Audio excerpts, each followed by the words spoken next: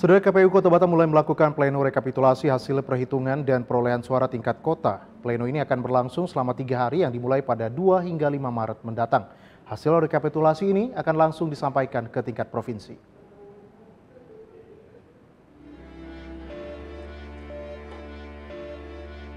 Komisi Pemilihan Umum Kota Batam memulai pleno rekapitulasi hasil perhitungan dan perolehan suara tingkat kota pada pemilihan umum tahun 2024. Pembukaan pleno rekapitulasi yang digelar di Swiss Bell Hotel Batu Ampar ini dihadiri Bawaslu, perwakilan Pemko Batam, Kapolresta Barelang, dan seluruh perwakilan partai politik yang ikut dalam kontestasi pemilu.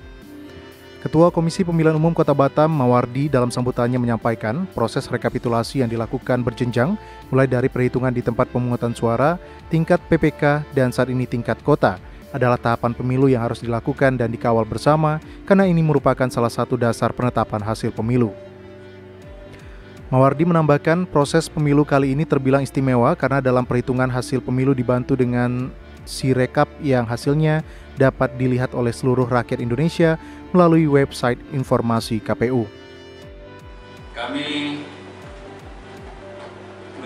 ingin menyampaikan juga kepada semuanya bahwa pemilu 2024 ini adalah pemilu di mana kita diberikan satu keistimewaan di mana proses rekapitulasi dibantu dengan sistem informasi yang namanya Sirekap.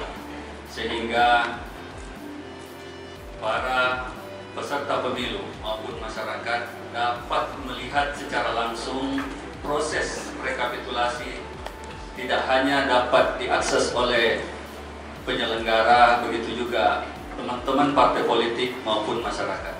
Ini adalah salah satu bentuk Pleno rekapitulasi hasil pemilu 2024 ini berlangsung mulai Sabtu 2 Maret 2024 hingga dua hari ke depan dan hasilnya akan segera disampaikan pada tingkat provinsi.